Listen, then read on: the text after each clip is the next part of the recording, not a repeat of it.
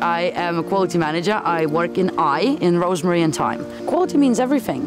Quality starts from the people and goes to the product. Ardo is massive and when you look for a job you not only look at what the salary is or what the job is you you look at the culture you look how long people are within the business you know the more the more i can meet people the, the better but i think it's a lot of people like that um, our, our factory is really multicultural as well so you get people from different parts of the world different parts of europe you know and all people come together and they make one product